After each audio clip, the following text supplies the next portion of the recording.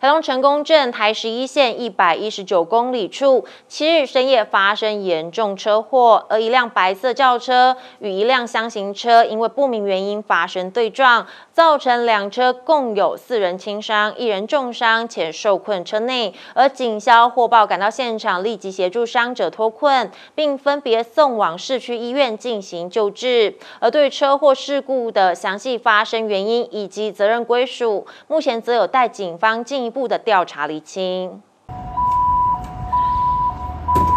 救护车急忙将车上的伤患送到急诊室。这起严重的车祸事故发生在七日晚间十点多左右，在台十一线一百一十九公里处，一辆白色的轿车与一辆箱型车因为不明原因发生对撞，造成两车共有五人受伤，其中一人伤势严重，并受困车内。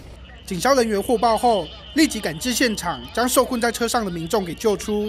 并送往市区的医院进行治疗。现场为两台轿车发生交通事故，啊，一名患者受困于车内，这样子。昨日二十二时二十分许，在台十一线一一九公里处发生两辆小客车的对撞事故。